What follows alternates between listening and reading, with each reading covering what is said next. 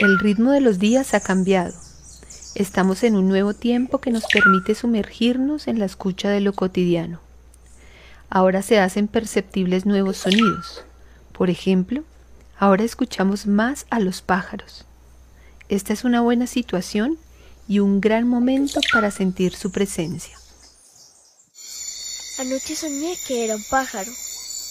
Sentía mis brazos como alas enormes Voy a volar sobre las montañas y sentir el viento y el sol de la mañana.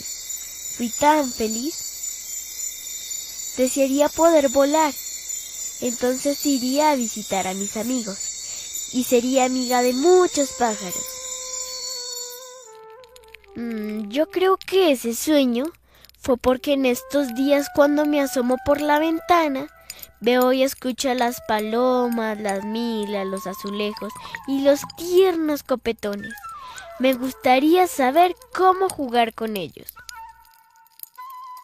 Voy a preguntarle a Sol, la amiga de Silvia, que estudia la comunicación de los pájaros por medio de los sonidos.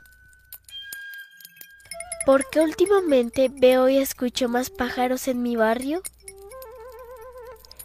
¿Qué nos dice sus cantos y cómo podemos interactuar con ellos? ¿Cómo es la comunicación de los pájaros en la ciudad y cuáles son los ruidos que más los afectan? ¿Cómo podemos ser amigos de los pájaros?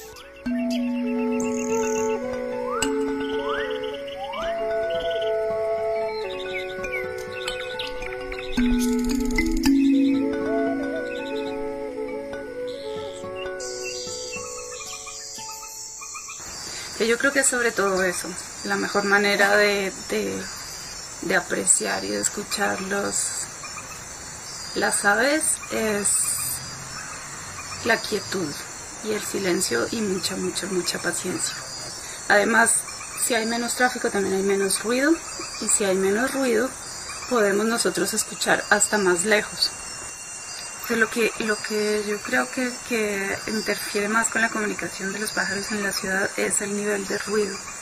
Y quizás es más bien en eso, en eso que tenemos que pensar, cómo hacer por lo menos que ciertos lugares de la ciudad sean menos ruidosos y permitan a los pájaros comunicar todo lo que tienen que comunicar.